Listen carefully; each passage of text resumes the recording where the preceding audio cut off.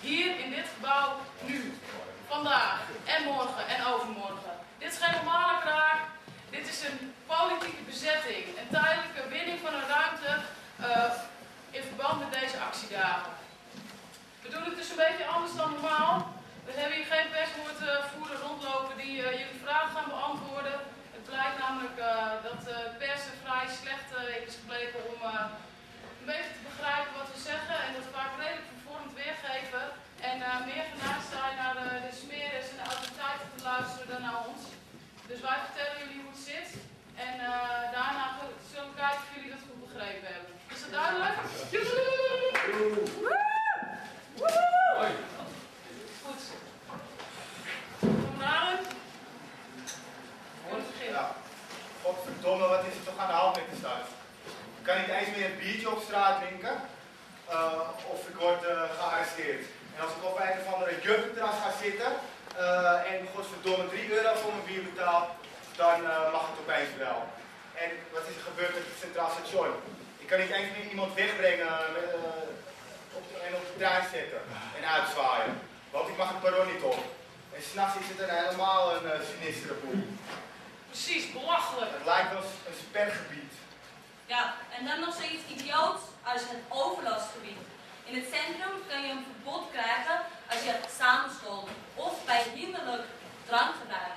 Weet je wat het betekent? In het fucking centrum van Amsterdam kan je weggestuurd worden omdat je met meer dan drie mensen staat te kletsen. Hebben we eens naar de fucking Kalverstraat gekeken? Ja, dat is één grote massasamenscholling. Maar dat mag wel. Want als er maar geconsumeerd wordt, is het wel oké. Maar als je dakloos bent, dan kan je niet eens staan te kletsen zonder dat je lastig wordt gevallen door de smeres. Ja. Well, en hinderlijk drankgebruik. Ja, dat is ook een goeie. Bijvoorbeeld, oh, al die lallende, schreeuwende Engelse toeristen die het centrum terroriseren. Ja, daarvan had er toch nooit iemand een verbod gekregen voor hinderlijk drankgebruik. Die veroorzaken toch echt ook geen overlast. Maar als een eenzame alcoholist op een bankje zit, die wordt meteen opgepakt. Ja, precies. De fucking Amsterdam is doorgedraaid. En het moet afgelopen zijn. Of denk er aan preventief fouilleren. Er worden hele gebieden afgezet. Alsof we hier in fucking oorlogstijd zijn. Dat kan toch niet? Mensen die worden op hun kleur, op hun ras, worden ze eruit gepikt. En om je gevraagd. Wat is dit? Wat leven we voor samenleving waar het kan? Ja, want de smeres, die moeten ze fucking, uh, hoe heet het weer, Pre prestatiecontracten moeten ze halen. Prestatiecontracten. Ja, een heel mooi woord voor fucking koppengeld. Koppengeld voor illegale. Per illegaal krijgen zij een bonus. En dat kan niet, dat mag niet en het zal niet. I Amsterdam, fuck off met je I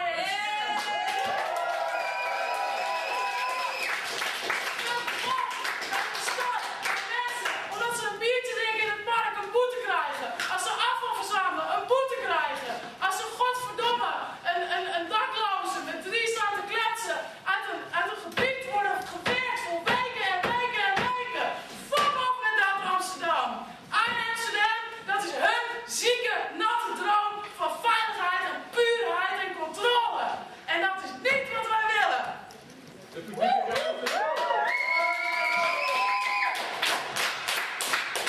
ruimte, onze ruimte wordt schoongezocht en alles moet door het controleapparaat gezien kunnen worden. Geen donkere hoeken en gaten meer, geen geheimen en überhaupt geen privacy. Daklozen en illegalen worden geweerd en de straffen voor wie afwijkt worden steeds hoger onder luid gejuich. Druk worden risicoprofielen opgesteld en databases aangelegd. Als ik van het Centraal Station naar Damrak oploop, loeren er 30 camera's me na. Ieder fucking hoekje van de straat wordt beloerd en gesurveilleerd. Je zou bijna zeggen dat we in een staat van beleg leven. Bijna, nog even wachten. Wat is dat godverdomme? Begrijpen die lui niet dat 1984 een waarschuwing was en geen voorbeeld? Een beetje dictatuur is jaloers op de mate van controle die wij hier hebben. Precies, en het gaat niet alleen om Amsterdam, het gaat niet alleen om Nederland. In heel Europa, of het nou Berlijn is, of Parijs, of Barcelona, of Londen, overal heb je diezelfde shit. Steden worden gezuiverd van alles wat niet in hun plaatje past. Het prachtige plaatje van pretpark, waar met zonder zorgeloos en ongehinderd geld moet kunnen uitgeven en De rijken zijn welkom in dat pretpark en de, en de armen die worden naar de marges gedrukt en die zijn alleen nuttig om de fucking place te stroppen of drankjes te, te serveren. Gentrification noemen ze dat wel. Ook weer zo'n mooi verhullend woord. En intussen gaat de ziel van de stad kapot en de buurten die gaan eraan. Ja, er wordt een uniforme monocultuur gecreëerd. En alle aspecten van het leven en de bewoners van de steden worden, die, die niet uh, tot de, een specifieke groep uh, horen, namelijk diegenen die het geld hebben, die worden uitgeband.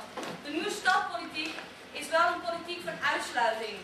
Er is geen plek in de stad voor de delen van hun bevolking die niet economisch nuttig zijn of niet kunnen geabsorbeerd worden door de nieuwe op economische winstgerichte cultuur.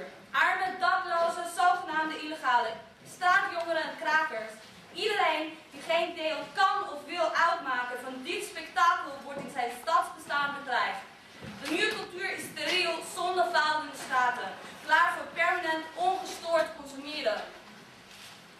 Overheid en het bedrijfsleven die hebben er vooral baat bij als de mensen zich makkelijk laten leiden. En absurd genoeg schijnen diezelfde mensen die repressie te willen. Veiligheid en law and order. En we zijn in de jaren 60, 70 een beetje doorgeschoten. Dat soort gelul. Veiligheid, ik ben misselijk ervan. Veiligheid is dood. Risico's en zweet en roes en ongehoorzaamheid, dat is leven. Je kan niet met risico's leren omgaan door je kop in het zand te steken of door steeds hogere hekken te plaatsen. We vinden dat je die hekken beter kan omtrekken en het IND-kantoor kapot maken. Luister niet naar managers en dienaren van de wet, maar organiseer dingen met elkaar en voor je eigen plezier. De straten in de parken zijn er om je te vermaken, voor seks en voor zwemmen en om een boek te lezen. En kooien zijn er om stuk te slaan.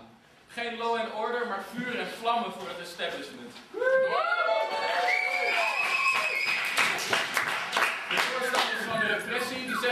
Niks te verbergen heeft, ook niks hoeft te vrezen, maar we hebben wel wat te verbergen. Iedereen heeft al wat te verbergen. En denk maar niet dat jij wordt overgeslagen bij de volgende repressiegolf waar je zelf om gevraagd hebt. Maar wij des te meer. Wij zijn tegen en dus crimineel georganiseerd. Wij gebruiken onze ruimte om te doen wat we willen en een onlosmakelijk onderdeel daarvan is het organiseren van verzet. Yo.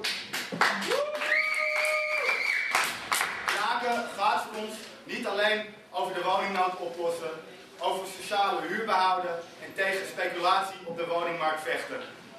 Voor ons is het een daad van verzet. Wij willen het systeem niet zo veranderen dat de problemen iets minder erg worden. Dit hele systeem waar deze zieke maatschappij uit voortvloeit, moet op de helling. Niet de symptomen moeten worden bestreden, maar de oorzaak. Wij willen onze eigen plekken creëren, onze eigen leefomgeving vormgeven en onze walging en boosheid over het grote spektakel dat de maatschappij heet, luidkeels uiten en met woord en daad te lijf gaan. Wij willen het conflict aangaan omdat dit voor ons de enige manier is. Wij willen niet leidzaam ten onder gaan aan de terreur van de commercie. Wij willen ruimte die vrij zijn van onderdrukking, hiërarchie en autoriteit. Een omgeving waar racisme, seksisme, klasseongelijkheid en fascisme niet alleen afgewezen worden, maar ook actief worden bestreden. Al deze verdeel- en heerstructuren zijn symptomen van de huidige mainstream samenleving. Ze veroorzaken of worden veroorzaakt door onwetendheid en angst.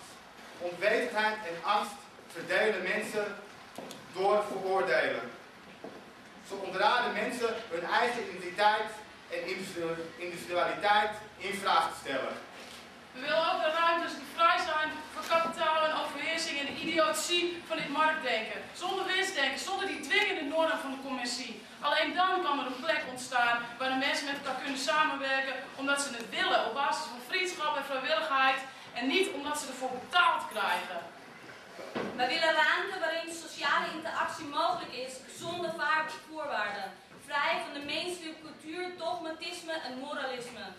De leidende cultuur bepaalt wat goed en slecht is, mooi, lelijk, normaal en vreemd enzovoort. Alleen in een omgeving waarin deze grondslagen verworpen kunnen worden, kunnen wij de vrijheid vinden om onze identiteit opnieuw te vormen. Wij nemen ons leven in eigen hand en daarmee komen we in conflict met de geschreven en de ongeschreven wetten die mensen eronder houden. We nemen dit conflict op de koop toe en zullen er waar mogelijk ook nog daaruit plezier putten. We zijn niet redelijk en we zoeken geen compromis, maar de bewerkstelliging van onze dromen. En met minder nemen we geen genoegen.